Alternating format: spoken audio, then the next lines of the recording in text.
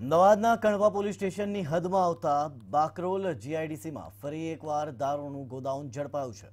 કણવા પોલીસને બાતમી મળી હતી કે બાકરોલમાં આવેલા રુદ્ર ઇન્ડસ્ટ્રીયલ એસ્ટેટમાં એક ગોદાઉનમાં કંઈક ગેરરીતિ ચાલી રહી છે, જેથી ડીવાયએસપી સહિતનો કાફલો એસ્ટેટમાં પહોંચ્યો હતો અને રેડ કરતા તોતેર લાખથી વધુની કિંમતનો દારૂનો જથ્થો મળી આવ્યો હતો. મહત્વનું છે કે કણવા પોલીસે ગોદાઉનમાંથી એક હજાર પાંચસો સિત્તેર પેટી ભારતીય બનાવટની ઇંગ્લિશ દારૂ અને એકસો એકત્રીસ પેટી બિયર સહિત કુલ ઇઠ્યોતેર લાખના મુદ્દામાલ સાથે મનોહર પવાર, સુનિલ બિશ્નોઈ અને પ્રદીપ બિશ્નોઈની ધરપકડ કરી છે. શરૂઆતમાં એને સાત મહિના સુધી ફિનાઇલનો લૂઝ લાવી અને પેકિંગ કરીને વેચવાનો ધંધો શરૂ કરેલો. પોલીસનું વેરિફિકેશન થઈ ગયા પછી છેલ્લા પંદર દિવસથી જે આરોપીઓ ત્રણ પકડેલા છે એની પૂછપરછ કરવામાં આવી, તો એવું કહે છે કે છેલ્લા પંદર દિવસથી મોટું કન્ટેનર મગાવી